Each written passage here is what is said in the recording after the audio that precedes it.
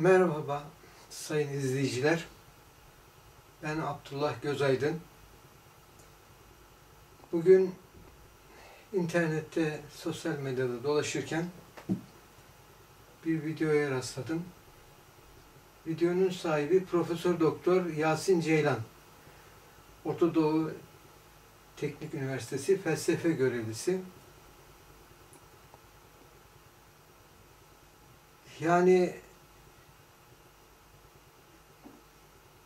bazı insanların kalbi kararmış, gözleri kör, kulakları sağır, dilleri lal konuşamaz olduğunu söylüyor Allahu Teala.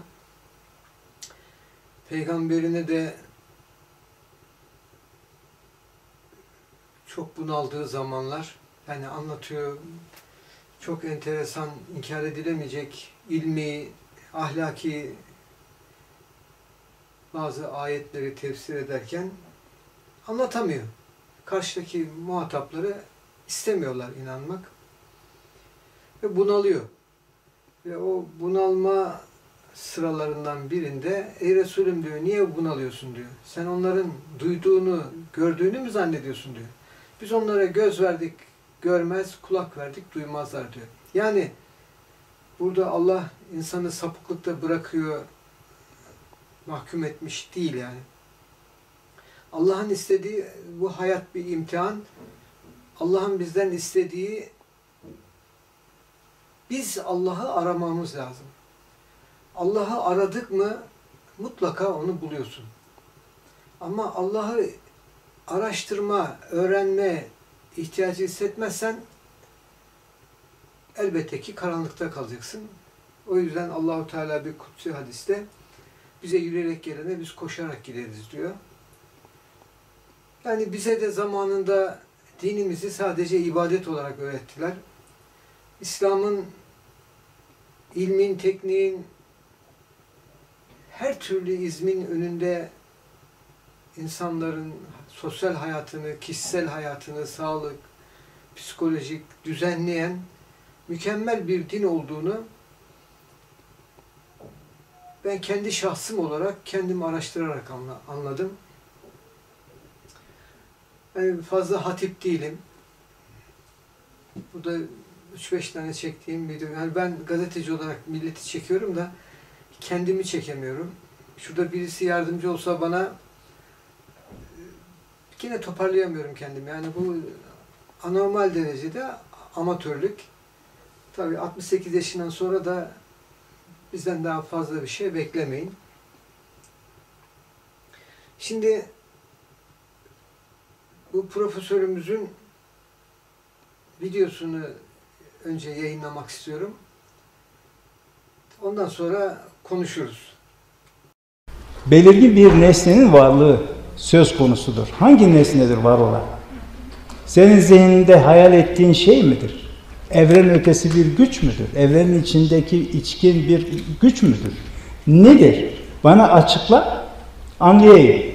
Hiçbir zaman açıklayamayacaktır. Onun için o da diyecek bu sana ait bireysel bir faraziyedir, bir hipotezdir, sende kalsın. Bana anlatamayacağın müddetçe ben onu reddederim. Ve Tanrı adına reddederim çünkü Tanrı'ya yanlış tarifler yakışmaz. Tanrı çok büyükse bilinmemesi lazım. Gizemli kalması lazım. Eğer bilinmek isteseydi çok basit bir şeyler yapardı. Hemen derdik işte Tanrı orada. Böyle kolay hale getirmediği için mutlaka bir hikmeti var. Neden en güçlü iman en cahil insanların imanıdır deniyor? Yaşlı ninenin imanı değil mi? Kerem kitaplarında geçer. Hasan bilir çok okumuştur. Onun için imanı güçlenmiş. Demek cehaletin artınca imanın artıyor. Ne garip bir şey. Bilgin artınca imanın artması lazım doğru bir şeyse. Ha bilgisi artan müteddeyinler ne yapıyor? Ha bile kıvırtıyor. Şöyle de olabilir, böyle de olabilir. Çünkü akıl egemen olunca zihne bir cahilin mesnetsiz ve gerekçesiz imanı onun için geçersizdir. Ve bocalar biraz daha düşünse zaten dinden çıkıyor. Ee, durum budur. Onun için şimdi Gördüğünüz bu videoda Sayın Profesör Allah'ın görünmezliğini anlamamış. Allah'ı göremiyorsak böyle yani Allah'ı gördüm diyenlerin sapık olduğunu, yalan söylediğini iddia ediyor. Halbuki biz her gördüğümüzü şu ceset gözünden mi görüyoruz arkadaş? Yani bu vatandaşlar profesör olmuş, emekli olmuş. Şimdi uzatmaları oynuyor. Çünkü cehennemde daha derin bir yere talip. Mevcut yaptığı yıkımlar yetmemiş. Allah da hidayet etsin diyelim. Bizim kimsenin Allah'ın indinde kötü olmasından bizim menfaatimiz yok. Allah iman etmesini nasip etsin. Topluma faydalı olsun. Çünkü maneviyatı olmayan insanlar çok basit konularda çok büyük felaketler görüyoruz. Bugün insanların bir işsiz kalmaktan dolayı, halbuki rızkı veren Allah'tır. İnsanların işsiz kalmaktan dolayı, insanlara muhtaç olmaktan dolayı kibir yaparak intihar ediyorlar. Bugünlerde de toplu intiharlar görüyorsunuz.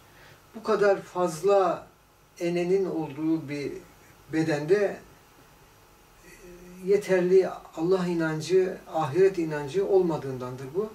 Ve dünyada çektiğimiz sıkıntılar mutlaka günahlarımıza da kefarettir. Biz sebep olmadıysak.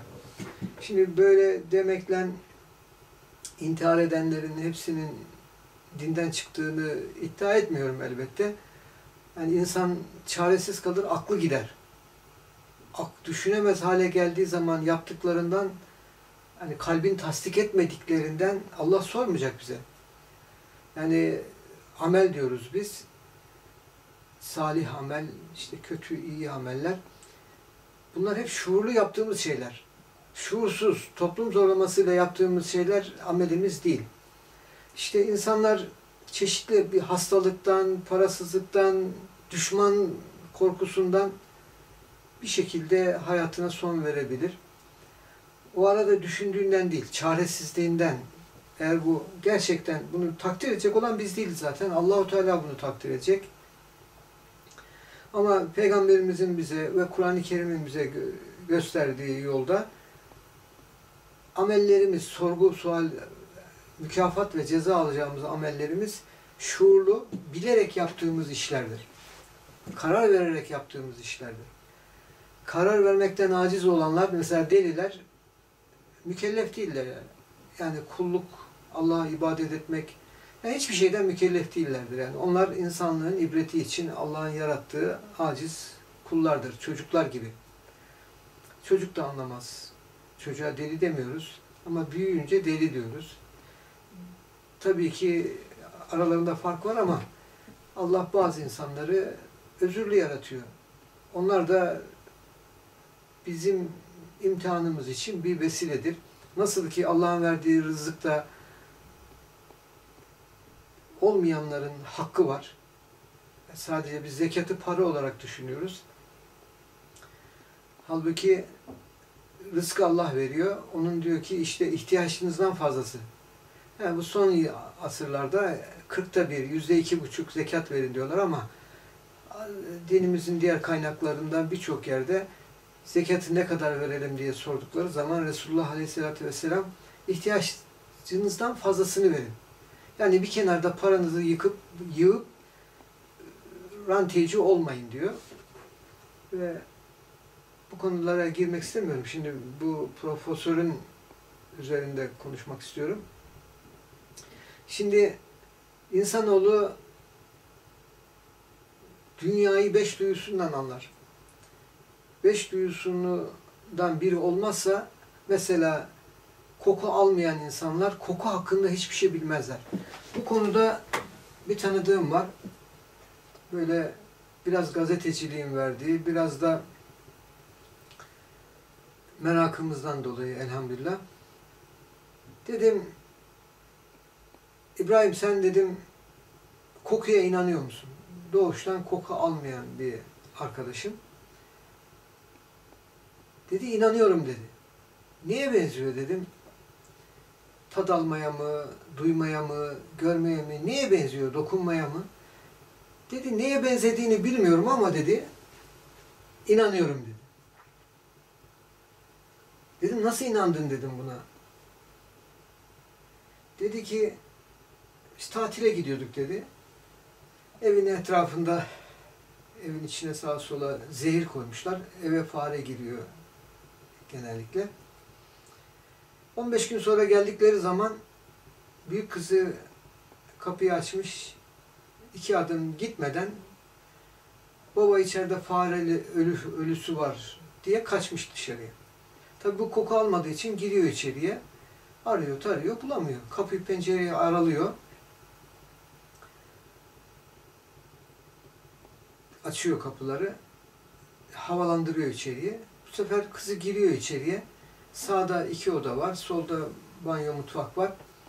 Şöyle biraz kokluyor, nefes alıyor, kokluyor.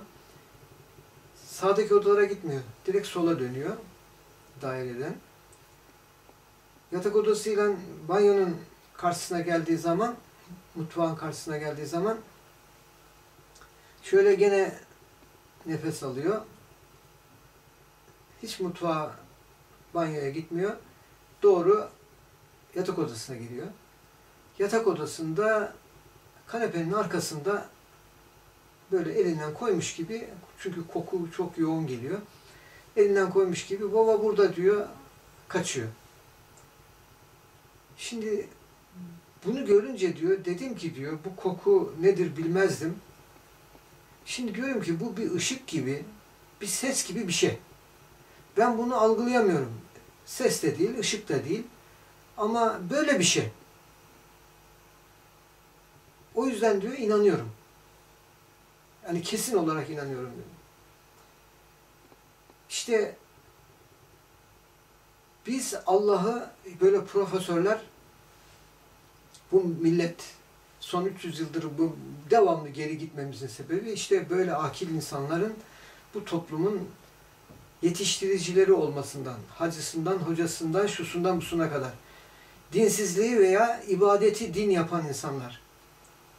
Dinsizliği ve ibadeti din yapanlar. Hiç ibadetsiz insanlar cennete gidebilir. Mesela Bedir, Uhud Savaşı'nda savaşın ortasında iman etmiş bir mücahit düşman saflarından kılıcını bırakıyor. Düşman saflarından Peygamberimize doğru geliyor. Peygamberimiz de Uhud dibinde tedavi ediliyor. O arada yaralanmış.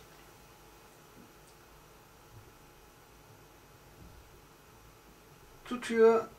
Diyorlar ki yani falanca işte o da böyle savaşçı bir insan. Diyor ki onun önüne çıkıyorlar. Diyor ki bırakın gelsin diyor. Geliyor. Diyor ki ya Resulallah ben yanlış yaptığımı anladım diyor. İman etmek istiyorum diyor. Allah kabul etsin diyor. Al kılıcını veriyor, yolluyor onu. Git diyor savaş. Tabi bu sefer Mekkelilere karşı savaşıyor. Savaştan sonra yani o, zamanın adetlerine göre müşrikler savaş meydanında bırakılıyor. Mücahitler, Müslüman askerler ölenleri bir yere getiriliyor. Savaş meydanından getiriliyor. Bir, onlara bir şehitlik yapılıyor. Oraya gömülüyor.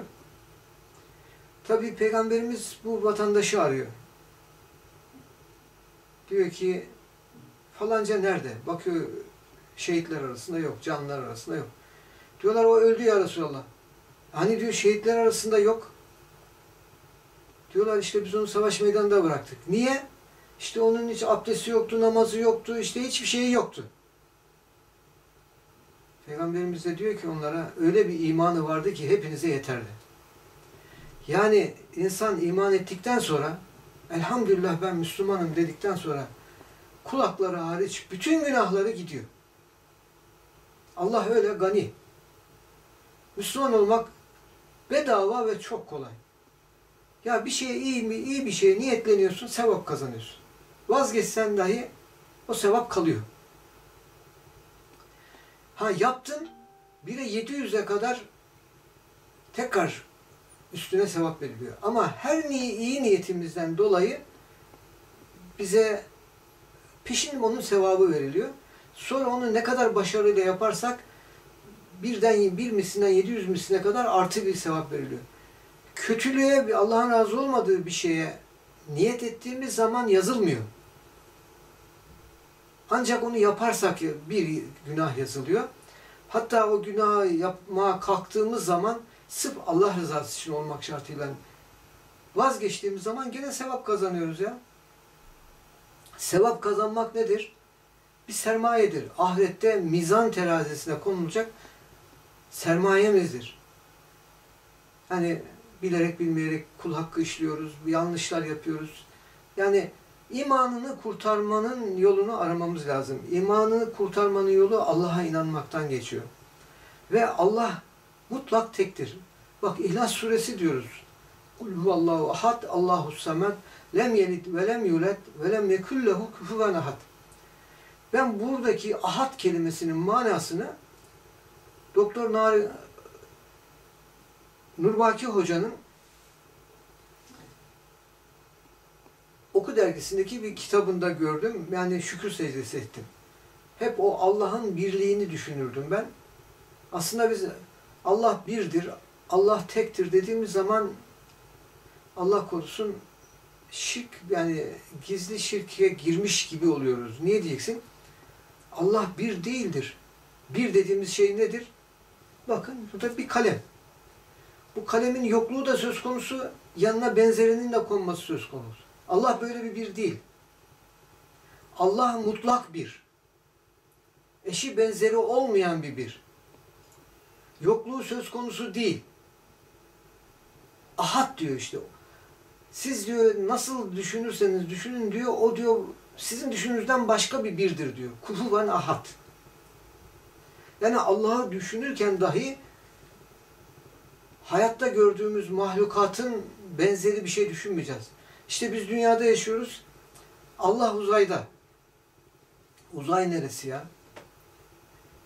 Şöyle biraz astronomi bilgisi olduğunuz zaman uzayın ne demek olduğunu görürsünüz ve insanın ne kadar aciz, ne kadar ucuz, ne kadar basit bir mahluk olduğunu da anlarsınız.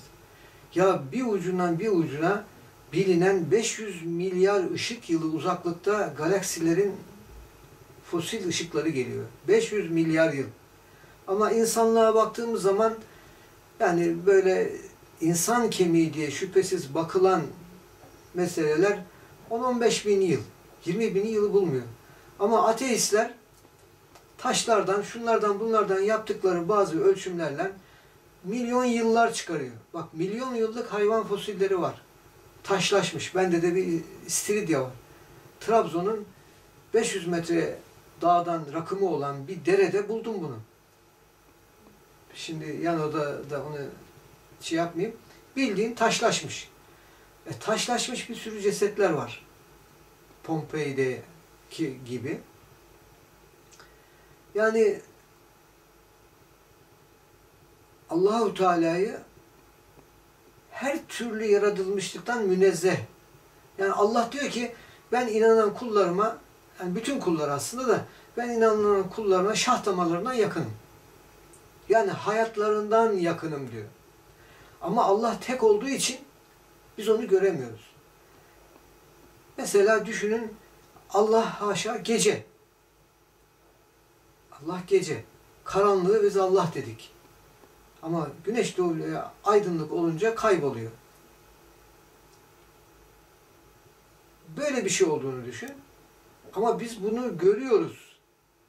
Gördüğümüz için ışığın kaybolduğunu, yani karanlığın kaybolduğunu görüyoruz. Aslında kaybolan gelen bir şey yok. Işık geliyor, sonra ışık kayboluyor. Yani insanoğlu beş duyusundan hep çiftleri görür. Acıyı tatlı sayesinde, serti yumuşak sayesinde, soğuğu sıcak sayesinde, serti yumuşak yani metallerin şeklinden hep zıttıyla biliriz biz şeyi. Mesela körler için renkler renksizliktir. Ben bir gün yolda giderken böyle bir erkek, kadınlara yapamıyorum tabii. Erkek görme engellilere koluna giriyorum rahat gidelim diye. Bir gün Mecidiyeköy Meydanı biliyorsunuz orası çok karışık öyle. Baktım birisi gidiyor hemen girdim koluna müsaade eder misin dedim beraber yürüyelim. Ya ben yolumu biliyorum dedi. Ya sen biliyorsun ama dedim bırak dedim ben de senin sayende bir sevap kazanayım. Gözümün sadakasını ödeyeyim. Zekatını ödeyeyim dedim. Hoşuna gitti adamın. Tamam hadi Kuştepe'ye kadar gidiyoruz. Dedim ki ona Hüseyin'miş adı. Hüseyin dedim sen dedim her şeyi siyah mı görüyorsun dedim. Hep böyle karanlıkta mı yaşıyorsun? Ya senin siyah karanlık dediğin şeyi ben bilmiyorum ki dedi. O bir renk dedi. Ben renkleri bilmiyorum dedi. Bak. O duygusu olmadığı için renklerin içinde, ışığın içinde duruyor. Işık onu şah damarına kadar sarmış. Bizi de sardığı gibi. Ama o ışıktan, renklerden bir haber. Hatta başka bir Mevlüthan görme engelli vardı. Enteresan da ona dedi ki Allah beni tekrar, yani öyle bir şey yok ama dedi, tekrar yaratsa gene gözlerimi istemem dedi. Böyle dindar da bir abimizdi. Garip yani şimdi o göz, görmemezliğe alışmış ve eksikliğini hissetmiyor. Allah hissettirmez bazen yokluklara. Birileri falancanın işte şu kadar şusu var, busu var, bizim niye yok diye intihar eder. Bazıları bir kuru ekmeğe şükürler olsun ya Rabbi derler. Bu dünya geldi geçiyor. Al ben de işte e, fırtına az gelir.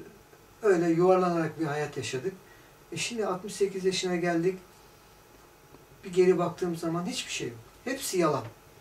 Allah da diyor, misal alemi diyor bu. Gerçek alem ebedi olacak, kalacağımız alem. Şimdi bu tür deistlik çoğaldı diyorlar şimdi. Öyle bir moda çıktı. Ama bunda en büyük vebal din görevlilerinin. Din görevlileri dinini bilmiyor. Mesela burada birçok müezzin ezanı yanlış okuyor. Fatiha'yı yanlış okuyorlar ya. Hadi ezan diyelim bir şey olmaz. Yanlışından onu okuyanın vebalidir. Ve bilip de uyarmayanların vebalidir. Biz elimizden geldiği kadar uyarıyoruz. Mesela Fatiha'da şimdi aynı Türkçe gibi kelimeleri Allah diyor ki tane tane hakkını vererek okuyun diyor. Yani kelimeleri birbirine karıştırıp manayı bozmayın diyor. Mesela İyyâke ne'abudu olması lazım. Ve İyyâke nesta'in denmesi gereken yerde İyyâke na'budu diyorlar. Yani İyya'dan K'yi alıyorlar, nabüdüye koyuyorlar. İki kelime de bozuluyor. Bilmiyorum anlatabildim mi? Çevrenizde bakın insanlara. Bu toplumun yüzde doksanı böyle okuyor. Çünkü sesli namaz dediğimiz akşam gece namazlarında cemaat imamdan öyle duyuyor. Ve ben kime gidiyorsam yüzde doksan dokuz diyeceğim de doksan değil. İyyâke ne'abüdü demesi diyen yok. İyyâke na'budu diyor. Üstüne basa basa. Hele bir gün Fatih Camisi'nde çok meşhur bir hoca namaz kıldırıyor. Üstüne basa basa böyle kenâbüdü dedi. Ve bu manayı bozar. Manayı bozan namazı da bozar. O namazı kılan, bunu görüp anlayanların da namazı bozulur. Bilmeyenlere bir şey yok. Ama imamın bunu yanlış yapması bütün o cemaatinde onun boynuna borç olmuş oluyor.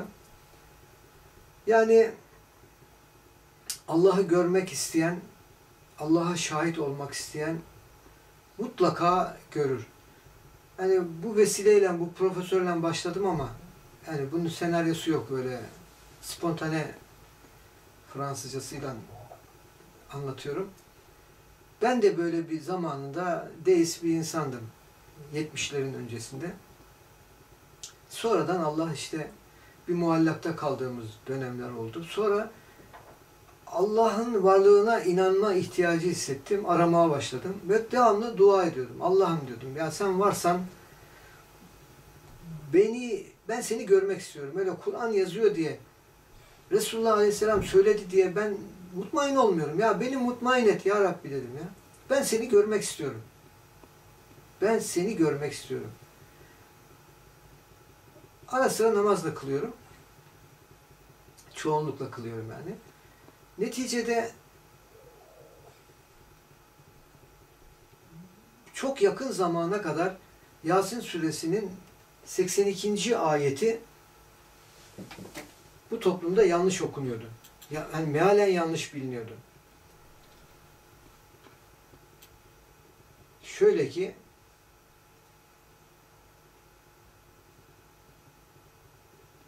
Yasin suresi se- 80. ayet Yemşi, yemyeşil ağaçtan sizin için ateş çıkaran odur. İşte ondan yakıp durmaktasınız. Önümdeki Diyanet İşleri Başkanlığı'nın meali. Meal okumak ve mealden hüküm çıkarmak çok zordur arkadaşlar. Elinizden geldiği kadar tefsir okuyun.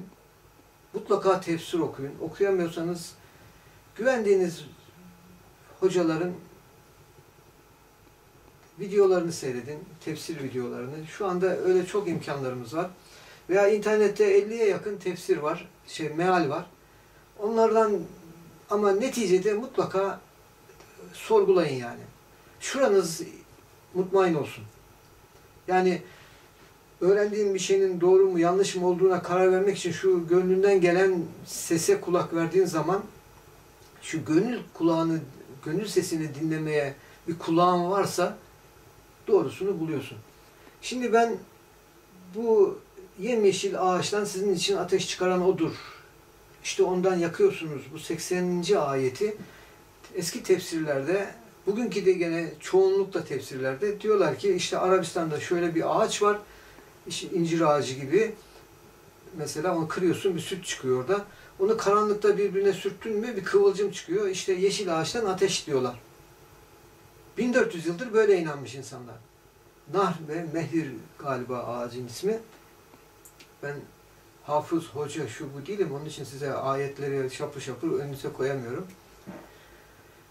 Elhamdülillah hava biz öyle hocalıkta, alimlikte, prof, profesörlükte gözümüz yok. Olmadı da. Onları gördükçe de şükrediyorum Allah'ıma. Neticede bir gün ben bu 80. ayetin ha önce surenin bu Yasin suresi son sayfası 6. sayfasının son ayetleri bunlar. Şimdi peygamberimiz birkaç kişiye oturmuşlar, muhabbet ediyorlar. Allah bizi tekrar eski halimize getirecek diye sohbet ederken içeriye iki tane müşrik giriyor. Tefsirlerde isimleri var bunların. Diyor ki Ey Muhammed senin Rabbin bu çürümüş, ellerinde de çürümüş kemikler var. Senin Rabbin bu çürümüş kemikleri mi eski haline getirecek? Bunlar çürümüş, dağılmış, gitmiş diyor. Allahu Teala bunlara cevap veriyor. Yasin 77'den itibaren başlıyoruz. 77 78 diye. Şimdi bu nüzul sebebinin oluşu ve Allah'ın bu konu hakkında indirdiği ayetler. İnsan kendini bir nufteden, bir tohumdan yarattığını, yarattığımızı görmez mi? Oysa bak şimdi o açıktan açığa bize karşı duran biri olmuştu. Yani biz onu çok basit bir şeyden yarattık diyor. Şimdi diyor Allah bize diyor düşman kesildi diyor. Kendi yaratılışını unutup bize örnek getirmeye kalkışıyor. Ve şu çürümüş kemiklere kim can verecekmiş diyor. Yani diyor ki burada ben onları, bu kullarımı diyor ve bu mahlukatı malzemesiz yarattım diyor. Atomlarını, elementlerini, hücrelerini hepsini diyor bir ol, kün emriyle diyor, ol dedim diyor. E şimdi diyor ben bu zaten şimdi bunlar soruyorlar ki bu çürümüş kimisi su olarak buharlaşmış, kimisi toprak haline gelmiş, kimisi işte değişik gazlara dönüşmüş insan vücudu eski haline nasıl gelecek? Kardeşim o nasıl dağıldıysa neticede o element duruyor dünyada. Ne nasıl dağıldıysa geri getirmek mi zordur? Yoksa sana hiçbir şey eline vermediler. Sen burada bir insan yarat dediler sana. Hangisi daha akla, ilme, mantığa ters düşüyor? Hiçbir şey yokken değil mi? Allah hiçbir şey yokken bizi yaratmaya kadirse e, tekrar yaratmaya da kadirdir. Bunlar deist şeyleri yani. O zamanki müşrikler de Allah'a inanıyorlar. Ateist değiller yani. Allah'a inanıyorlar ama putları ona ortak koşuyorlar. Bugünkü bazı büyük dinlerde de olduğu gibi. Burada dediği işte tekrar bu çürümüş kemiklere kim can verecek diyor. De ki onları ilk yaratmış olan diriltecek. O yaratmanın her türlüsünü bilendir diyor. Onlara de ki diyor ilk başta yoktan sizi nasıl yarattıysam tekrar yaratırım diyor. Ve oradan sonra diyor ki yemyeşil ağaçtan sizin için ateş çıkaran odur. İşte ondan yakıp durmaktasınız. Gökleri ve yeri yaratan Allah on, Allah onların benzerini yaratmaya kadir değil mi? Elbette öyledir. O eşsiz yaratıcıdır. Her şeyi bilir. Bir şeyi istediğinde onun buyruğu ol demekten ibarettir ve hemen olur. Yani Allah düşünmez. Düşünme insanlar için ve cinler için bir meziyettir. Yani insanda olan hiçbir şeyi Allah'a atfetmeyeceğiz. Hele Allah'ın zatı sıfatlarını kesinlikle düşünmeyeceğiz. Biz yaratamayız yani. Biz halk edemeyiz. Biz yani Allah'ın zat sıfatları kendine aittir. Subuti sıfatları yani bu da bir benzetmedir. Yani biz görürüz. Allah da basirdir ama Allah'ın görmesi için göze, sinire, soğancığına, ışığa ihtiyacı yoktur öyle. Bizim hep beş duyumuzda, her şeyimizde sebeplere dayalıdır. Şimdi burada benim iman ettim, elhamdülillah ya Rabbi sana inandım dediğim ayet. Yani belki anladınız, belki şimdi anlatacağım. Yemyeşil ağaçtan sizin için ateş çıkaran odur. İşte ondan yakıp durmaktasınız. Evet arkadaşlar, benim elhamdülillah Müslüman olduğum dediğim 81 yılının da bu ayettir. Yani Allah herkese bir vesile nasip eder. Kalbin mutmain olması için. Ben bu ayeti öğrendikten sonra artık Kur'an'ı araştırmaktan vazgeçtim. Yani Allah'ı araştırmaktan vazgeçtim. Kur'an'daki Allah'ın benden ne istediğini araştırmaya başladım ondan sonra. Şimdi buradaki hani bir insanın şükür secdesi yapıp dakikalarca şükretmesine sebep olacak nedir? Şimdi düşünelim arkadaşlar. Bu videoyu seyredenlerin çoğu fotosentezi bilir. Fotosentez nedir? Bitkilerin, denizde yosunların veya bazı başka elementlerin, hücrelerin, böyle küçük canlıların ürettiği hani bitki türünde klorofil deniyor galiba. Yani suyla güneş ışığının son sentezlenmesine, onun için fotosentez diyorlar. Daha tam bilinmiyor. Bu keşfedildi 250 yıl oldu. Bilimsel olarak keşfedilmesi 40-50 yıl oldu diye Google amcadan öğrendiğim kadarıyla. Fotosentez yani ateş eşittir oksijen. Oksijen yanınca ne oluyor? Aynı çürüyen ki bizim şeyimiz gibi fosil gibi karbon oluyor. Bir oksijen bizim vücudumuzda veya sigaramızda veya ocağımızda yandığı zaman oksijen karbondioksite dönüşüyor. O karbondioksit gidiyor ağacın da yaprağına gündüz gece değil ama gündüz ağacın yaprağına gidiyor. Ağaç onun nefes olarak alıyor. Kendine bir glikoz yapıyor orada gıda olarak. Bir oksijen dışarı veriyor. Yani biraz evvel Bu tabii bu döngü ne kadar zamanda oluyor bilmiyorum. Doğamızda devamlı oksijen karbondioksite dönüşüyor ve yeşil bitkiler de devamlı o karbondioksiti oksijene dönüştürüyor.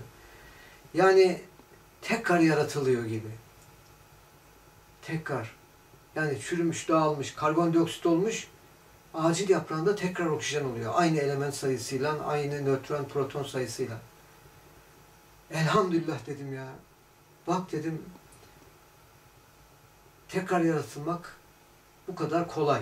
Ve Allah bunu 1400 sene evvel fotosentezi bize anlatıyor. Ve ateş diyor. Görmüyor musunuz? Niye? Siz soru neydi? Senin Rabbin bunları mı eski haline getirecekti? Evet bak. Fotosentezde Allah diyor ki bak diyor ben hepiniz diyor onu diyor yakıp duruyorsunuz diyor. Hep diyor yakıp durmaktasınız. Yemyeşil ağaçtan sizin için yani canlı bir ağaçtan veya bitkiden ateş çıkaran odur. İşte ondan yakıp duruyorsunuz. Durmaktasınız diyor. Herkes yani hiç ömründe hayat ateş görmeyen insan dahi yoktur da ciğerlerinde yakıyor. Vücudunda yakıyor oksijeni. O an dedim ki tekrar yaratılmaya misal olarak bundan mükemmel bir misal olamazdı. Elhamdülillah iman ettim dedim. O günden sonra da başta Müslüman olmanın ibadet olmadığını, iman olduğunu, hakkıyla iman edildiği zaman da Müslümanın şükretmesi gerektiğini, hayır ve şerrin Allah'tan olduğunu, hayırları Allah'ın bizim hakkımızda bir lütfu olduğunu, şerlerin de bizim kendi irademiz olduğuna inanmamız lazım.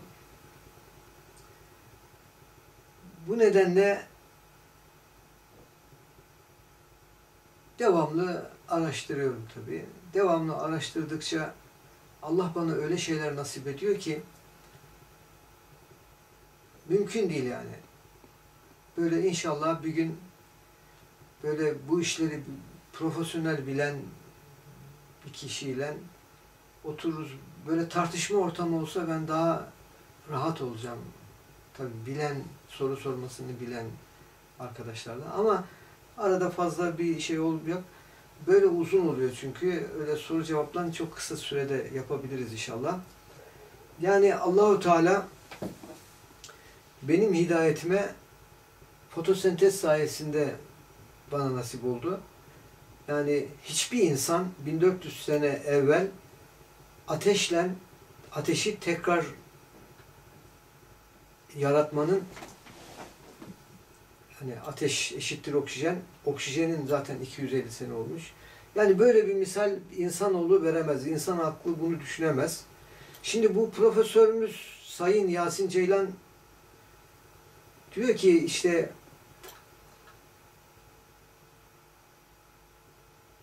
cahiller diyor ancak dini olur diyor. Biraz evvel videoda da izlediniz. Cahiller dini olur diyor. Cahiller her şeye diyor inanırlar diyor. Ama benim inanmam için görmem lazım diyor. Gözünün ne olduğunu bilmiyor ki adam. İşte burada Nisa 162 ancak onlar ilimde yetki sahibi, rusuh sahibi olup derinleşenler. Yani öğrenmek istedikçe Allah'ın onlara verdiği ilim, yaratılış gerçeğine ve kitabın hikmetine erişenler ile sadık, samimi müminler sana indirilene ve senden önce indirilene inanırlar. Namazı dosdoğru kılarlar, zekatı verenler, Allah'a ve ahiret gününe inananlar işte bunlar var ya biz onlara büyük bir ecir bahşedeceğiz. Yani mükafatlandıracak, günahlarımızı affedecek. Yani cennet, cehennem bunlar vesiledir. Allah sevgisinin önüne geçmemesi lazım. Cennette Allah'ın yarattığı bir şeydir. Cehennemde İbrahim Aleyhisselam'ı ateş yakmadığı gibi seni Allah seni cehenneme koyar. Tabii ben mecazi söylüyorum. Ama o cehennemde cennettekilerden mutlu olabilirsin. Cennet, cehennem seni yakmaz. Tabii böyle bir şey yok da ama Allah her şeye kadirdir. Mesela Ali İmran 7 Sana ki- kitabı indiren odur. O kitaptan bazı ayetler kimsenin tahrif etmeye gücü yetmeyeceği şekilde sağlam, açık ve muhkemdir. Onlar kitabın çoğunluğunu ve ana omurgasını oluşturan muhkem kitabın anası olan ayetlerdir. Diğer bazısı da kullarını imtihan etmek için açık kılmadığı, yani manasını ver bildirmediği müteşabih ayetlerdir. Kalplerinde eğrilik bulunanlar fitne çıkarmak ve ayetleri hevalarına, nefislerine göre yorumlamak için müteşabih olan, bu manası belli olmayan ayetlerin peşine düşerler. O ayetlerin tevi- tevilini, anlamını, hakiki anlamını yalnızca Allah bilir. İlimde derinleşenler der ki, ona iman ettik. Hepsi Rabbimizin katındandır. Ancak akıl sahipleri düşünüp öğüt alır. Bakın yani şimdi videonun sonunda da bir bu vatandaşın bir videosunu koyacağım. Onda da diyor ki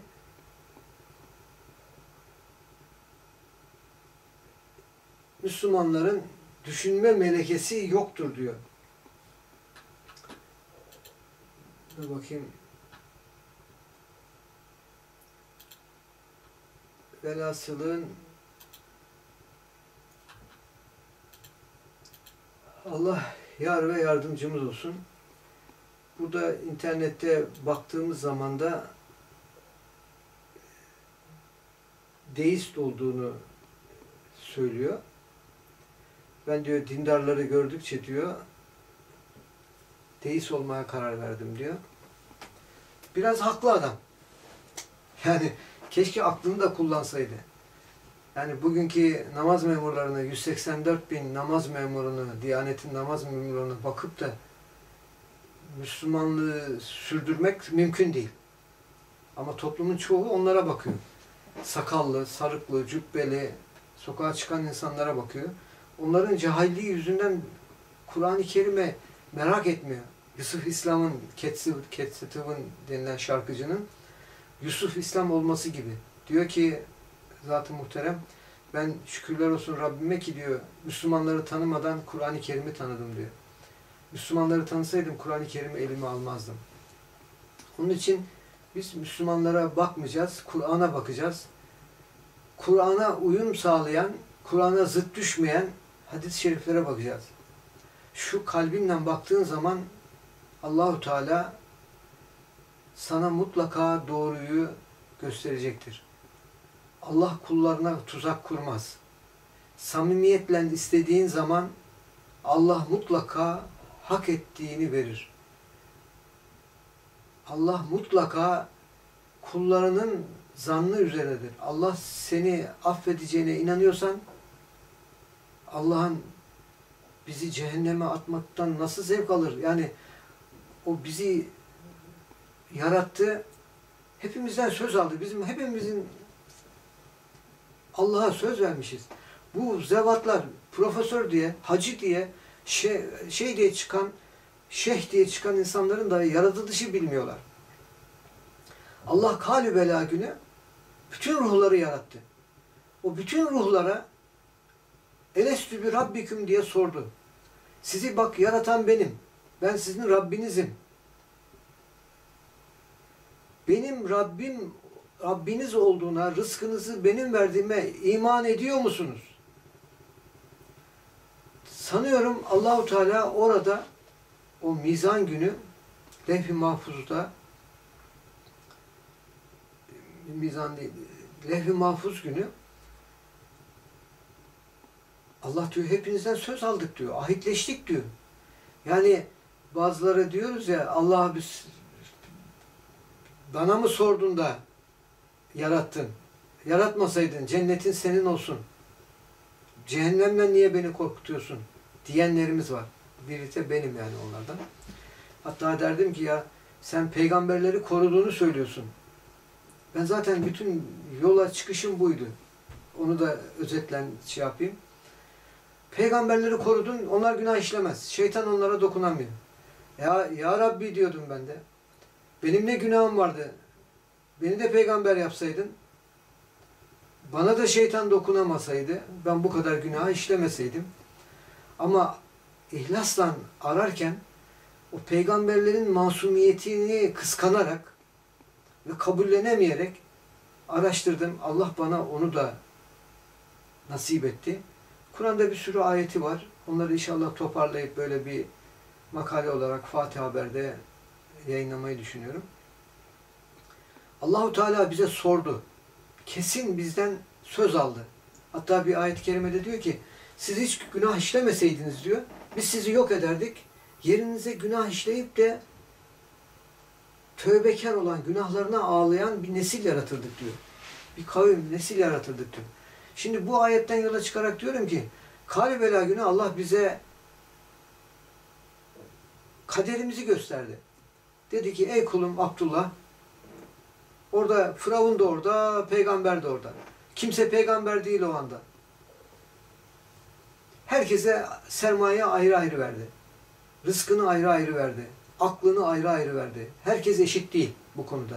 Ama ne kadar sermayen varsa ondan sorumlusun. Ne kadar aklın varsa ondan sorumlusun. Ne kadar bilek gücün varsa ondan sorumlusun. Allah kimine cesareti çok vermiş, kimine parayı çok vermiş, kimine akıllı çok vermiş, kimine sadakati çok vermiş. Herkesi ayrı ayrı yaratmış Allahu Teala. Allah dedi ki bize alın bu sizin kaderiniz. Bu imtihana razı mısınız? Bize cenneti gösterdi, cehennemi gösterdi, kaderimizi gösterdi. Ve biz yaratılanlar, biz yaratılanlar kabul ettik. Kabul etmediklerimizi yani o gün yaratılan kim bilir ne kadar ruh yaratıldı. Kabul edilmeyenleri Allah yok etti. Olduğuna inanıyorum. Çünkü öyle diyor Allah başka ayette. Diyorum ki orada da tabi böyle bir ayet, hadisle ben görmedim. Biz Allah'a Allah'la ahitleştik. Bu kesin. Bunu kimse inkar edemez. Ahitleşmeyi Allah bize unutturdu. Azrail'e gördüğümüz an ilk hatırlayacağımız şey. Çünkü ahirette şey yok. Biri 20 yaşında ölmüş, öbürü 90 yaşında ölmüş. Yok. Bir mütevatir bir söylentiye göre herkes 33 yaşında. Ama bu 33 yaşı dünyadaki 33 yaşı değil. Benim anladığım, benim inandığım Kali beladan kıyamet gününe kadar geçen süre Allah'ın indindeki 33 gün. 33 sene, 33 bilmem asır, 33 neyse artık işte yani.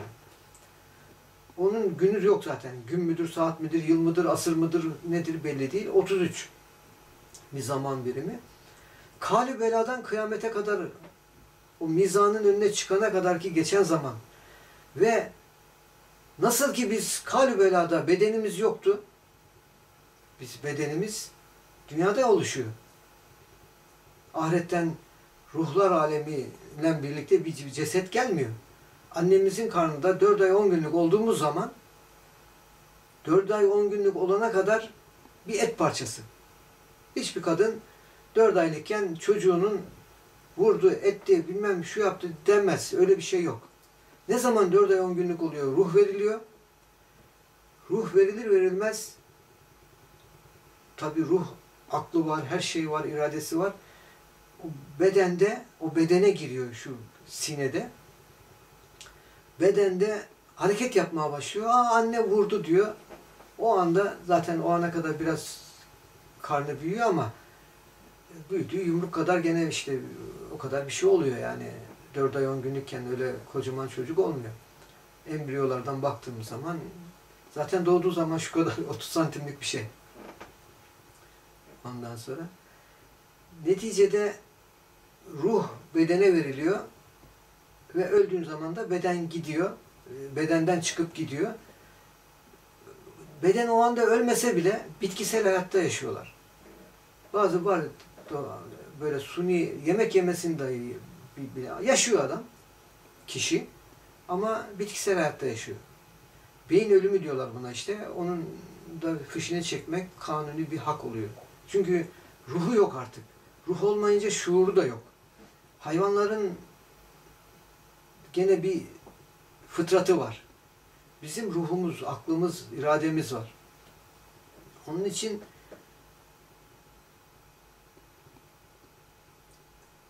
konuyu çok dağıttık.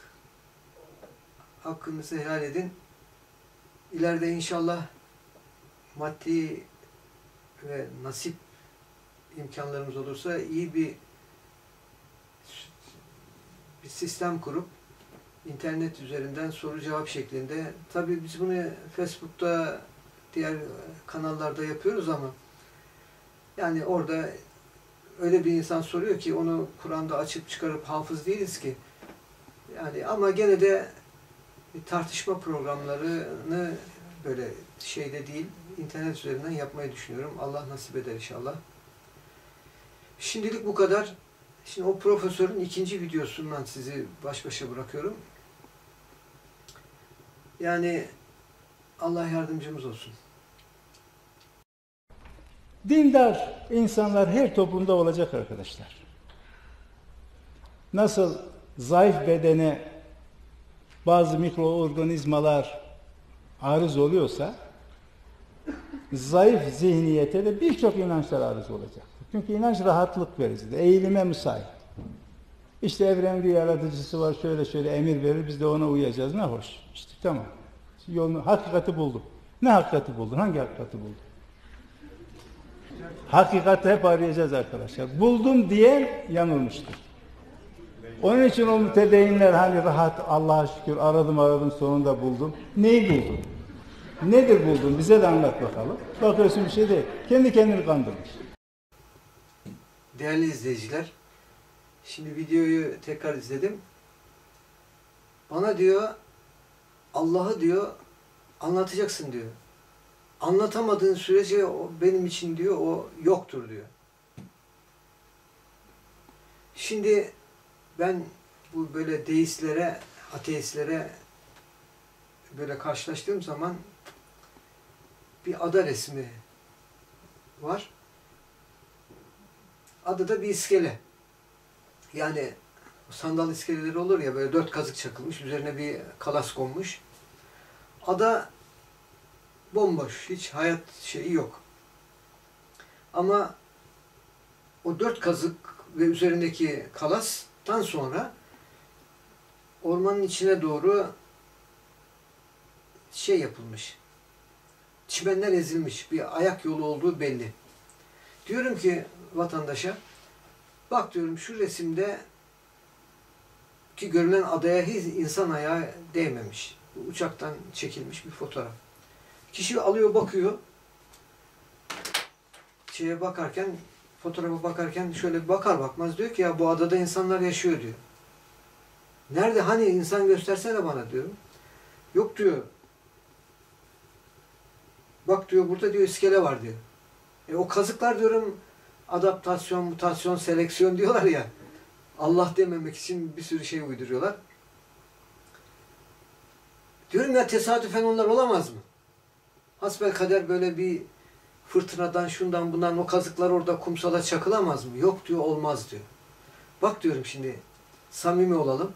Sen şimdi burada dedim gözünle görmediğin halde cinsini, sayısı, sayısını, şeklini, şemalini bilmediğin insan veya insanları görüyorsun değil mi dedim şimdi. Altında bir şey görmüyorsun ama akılla, ilimle orada insan olduğunu görüyorsun. Evet dedi, insan olduğunu ben burada görüyorum dedi. Aha dedim işte.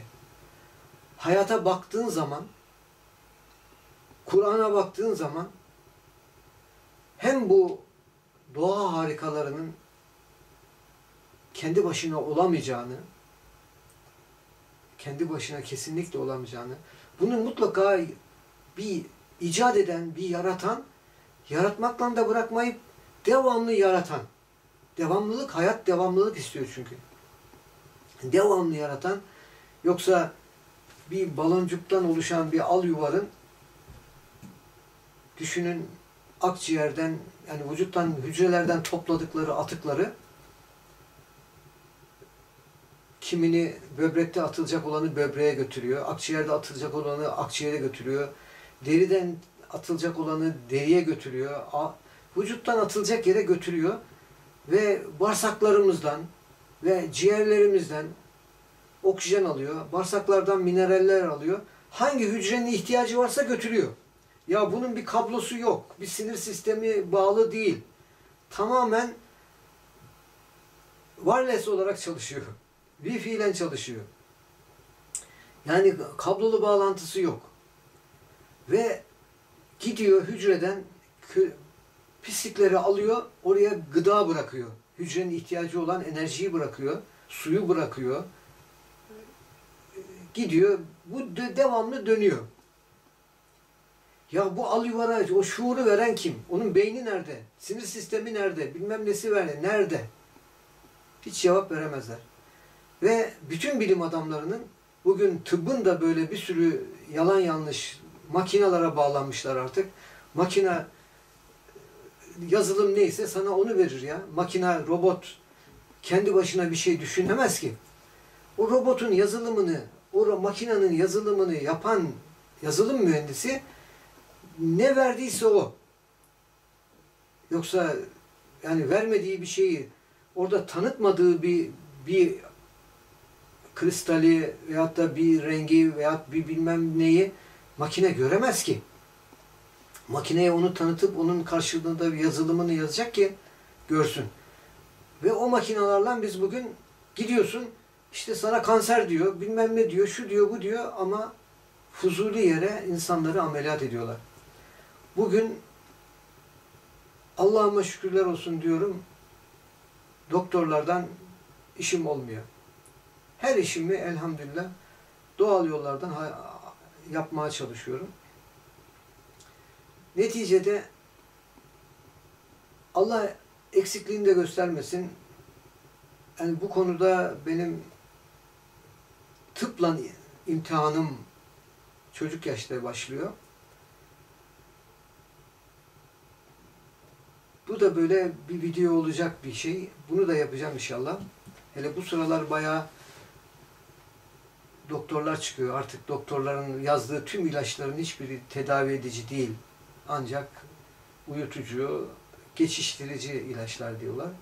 Yani afyonla, kimyasal bilmem nelerle insanların acılarını dindiriyorlar. Aslında tedavi diye bir şey yok. Mesela bir basit kısa söyleyeyim. Dizlerimi böyle birbirine batıyordu. Sanki kemikler kırılmış birbirine sürtüyordu. Ben de bunun doğal yollarını arıyorum ta- tabii devamlı. Birkaç şey denedim. En son at kestanesini denedim. At kestanesini parçaladım. Un haline getirdim mikserde. Ve onu sızma zeytinyağının içine koydum. Güneşe koydum. Üç ay durdu. Ondan sonra bir başladım kullanmaya. Sadece böyle bir yeşil mercimek kadar avucuma koyuyorum. Dizlerimi ovuşturuyorum ağrıdığı zaman. Top oynuyorum şimdi ya. Günde 5-10 kilometre yol yürüyorum ya. Bakkala gidip gelemiyordum. Bir arkadaşım platin ta- taktırdı. Hala ağrıyor, hala şey yapıyor. Ve bugün internette de onun videolarını öyle paylaştım. Videolar yaptım. At kestanesi yağı yani burada da anlatayım. Çok basit bir şey. Dediğim gibi at kestanesini kabuğuyla birlikte parçalıyorsun. Sızma zeytin, iyi bir kaliteli sızma zeytinyağının içine koyuyorsun. Kapağını kavanozun kapatıyorsun. Ha, kava, üçte bir koyuyorsun kestaneyi. Üçte iki yağ oluyor. Üç ay sonra açıyorsun. Ara sıra karıştırıyorsun böyle içindeki şeyler yağlan karışsın diye. Ara sıra karıştırıyorsun. Bak bazıları karanlıkta da olur diyor. Bazı tarif edenler var. Karan, güneşte diyor o işte küfleniyor falan. Aslında taze yaparsanız küflenme oluyor. Kurumuş kestaneden yaparsanız hiçbir şey olmuyor. Ondan sonra. Neticede ve ben ameliyattan kurtuldum ya. Ve geçenlerde bakıyorum ki birçok doktor ameliyatın bunun tedis, bu eklem ağrılarının kıkırdağının beslenmeyle sağlamlaşacağını iddia ediyor. Ameliyat diyor çözüm değildir diyor. Yani Allah'ıma şükürler olsun. Rabbim cümlemize merhamet versin. Yani doktora gidemiyorum. Şu alttan altı tane dişim eksikti. Hepsini çekelim. Sana komple damak yapalım. Ya niye çekin? İyi doktorlar diyor ki aman diyor ya. Kökü kalmış dişinizi dayıyor getirin diyor. Onun üzerine biz diyor diş yapalım. O kök gibi diyor hiçbir implant sağlam olmaz diyor. Ya sap sağlam insanların dişlerini kesiyorlar ya. 30 yaşında adamın pırıl pırıl dişlerini kesmişler ya. O kadar kahrediyorum yani yargılanması lazım bunların. Ben kaç 10 senedir doktora 6 sene oldu gidemiyorum doktora. Şurada bir tane dişim çıktı. Yok yaptıramıyorum. Yapamayız diyorlar. Ama şu altındakini affedersiniz mideniz bulanmasın. Şunu çelik üzerine diş yapılmış. Kullanıyorum yani. Bunu devlet hastanelerinde emekli olduğum halde yaptıramıyorum. Şimdi bekliyorum şunun yanından başka bir tane daha düşerse bu tek olduğu için zor oluyor. Bir iki tane düşerse üstüne de yaptıracağım yani. Neticede 5-6 doktora gittim. Tanıdık doktorlara gittim. Referanslı doktorlara gittim. Yok biz yapmıyoruz. Böyle bu işi diyor yani yasa dışı yapılıyor diyor. Ya yasa dışı ama ben böyle istiyorum sağlam. Dişlerimi çektirmek istemiyorum. Yok. İlla bir tane diş şuraya koyacaklar diye onun yanındaki bir taneyi kesmek istiyorlar. Sonra kalanının iki ucundan kesmek istiyorlar. Yani şuraya bir diş yapacağız diye üç tane dişimi yok etmek istiyorlar. Kesilen dişler de kalıcı bir şey değil yani. Velhasılın bugünkü tıp ruha inanmıyor. Laf nereden nereye geliyor böyle işte. Ruha inanmıyor.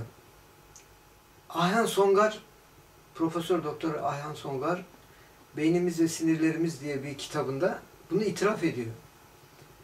Ya diyor baktım diyor şu sinede diyor bir boşluk var şurada diyor. Ana snap diyor, snaps diyorlar sinir uçları. Milyonlarca diyor snap var burada, sinir ucu var diyor. Ya burada bir şey yok diyor, organ yok, kalbe faydası yok, akciğere faydası yok. Bu boşluk niye var diyor. Tabi araştıra araştıra sonunda böyle onun manevi hocaları da vardı. Sonunda anladım ki diyor burası ruhun yeri. Arkadaşlar Allah rızası için düşünün. Doktor olanlarınız da düşünün. Ruhu inkar etmeyin. Beyinde hayvanda da beyin var. Ona zeka derler. Deneme yanılmayla bir şey olur. Ama görmediğin bir şeyi yani şu kağıda baktığın zaman bunun kağıt olduğunu hayvan da görür. Ama şurada kavak ağacını görebiliyorsan, kağıt fabrikasını görebiliyorsan bu akıldır. Ve akıllı da Allah herkese eşit miktarda vermemiş. Onun için ruhun girdiği yer burası. Mesela sizin şimdi bir bacağınıza bir şey olsa bacağına bakarsın değil mi? Omuzuna bakmazsın. E kardeşim duygu düşüncelerin merkezi kafa olsaydı bunun refleksleri kafada olurdu. Ama duygu düşüncelerimizin refleksleri, heyecanlarımız, korkularımız, tedirginliklerimiz, mutluluklarımız hep şurada oluyor. Şuraya bir cızlama oluyor. Şurada bir rahatlama oluyor. Ya ruh ben buradayım diyor. Bizim bilim, bilim adamlarımız inanmıyor. Ruha inanmıyorlar. Ve ben bu adamlarına gidip cesedimi teslim edeceğim. Yok. Kimse kusura bakmasın. Böyle çürüyüp giderim. İnşallah Allah bana bu dizlerime verdiği derman gibi başka üstesinden gelemeyeceğim derman vermez. Ama verse de ben o doktorlara gitmek istemiyorum. Bunlar 12 yaşında beni Cerrahpaşa Tıp Fakültesi'nde açık beyin ameliyatı yapmak istemişlerdi. %50 ölür, %25 iyileşir, %25 de sakat kalır dediler. Ve 25 bin lira para istemişlerdi o zaman. 64 senesinde. Babam bulamadı tabii memurdu ama gümrük muhafaza memuruydu. Yok dedi ben 25 bin 600 lira maaş alıyordu. Ben dedi bunu veremem. Getirdiler beni eve. Bir trafik kazasında otobüs devrildi. Hiçbir yerimde bir şey yok. Otobüsün içinde hani uyuyordum. Birden kalktım. Sağda oturanlar yaralanmıştı. Neticede beni 15 gün evde hiçbir şey yiyemiyorum. Gündüzleri böyle sisli görüyorum, gece göremiyorum. Kulağım iyi duymuyor. Kulağım iyi duymadığı için konuşamıyorum. Ayağa kalkamıyorum. Böyle bir haldeydim. Hemen biz Balat'ta oturuyoruz o zaman. Ayvansaray'da Mehmet, Remzi Sakarya diye, Evliya Doktor diye de ismi vardır. Bu Mehmet Remzi Sakarya hocayı tavsiye ettiler. Abimin kucağında gittik oraya. Tabii bunları hatırlamıyorum birçoğunu. Abimden, babamdan dinleyerek öğrenmişim. Kuyruk varmış. Demişler ki kuyruğa değil gel gel gel demiş. Hasta bu demiş. Gelmiş o zaman gözüme, kulağıma, dilime, ağzıma işte böyle vücudumun şekillerine bakmış. Böyle makine falan yok. Kimse bir şey demeden ve ben korktuğumu da söylemedim kimseye. Ya bu çocuk korkmuş dedi. Allah rahmet eylesin. Bu çocuk korkmuş dedi. Trafik kazası olduğunu biliyorlar ama bu çocuk korkmuş dedi. Siz buna koyun ciğeri ızgara yapın verin dedi. Bir de 3-5 çeşit vitamin hapları vardı. Yani sandoz var ya onlar o kadar da pis geliyordu bana onların kokusu o zaman tadı. Ama zorla içiriyorlardı. Koyun ciğeri ve vitaminler. Birkaç çeşit vitamin. C vitamini, D vitamini filan. Ve ben 6 ay sonra kendime geldim. Ama bir deri, 15 günde bir deri bir kemik olmuştum böyle. Cerrahpaşa'ya kalsak beynimi parçalayacaklardı. Yani bunun gibi daha çok hatıralarım var. Kimseye de itham etmek istemiyorum. Ben yaşadıklarımı biliyorum. Yaşadıklarımı her tarafta konuşurum. Bugün bir diş tabibi gelsin bana desin ki işte sen yanlış söylüyorsun. Yok. Bir emekli insan niye böyle yarım ağızdan dolaşır? Niye gider çantacıya diş yaptırır? Ben zengin miyim yani? Bir aylık maaşımdan fazlasını verdim. Bu çelik damağı yaptırdım. Yani Allah hepimize merhamet versin. Bu konuşma bitmez. Herkesten Allah razı olsun. Herkese iyi günler dilerim.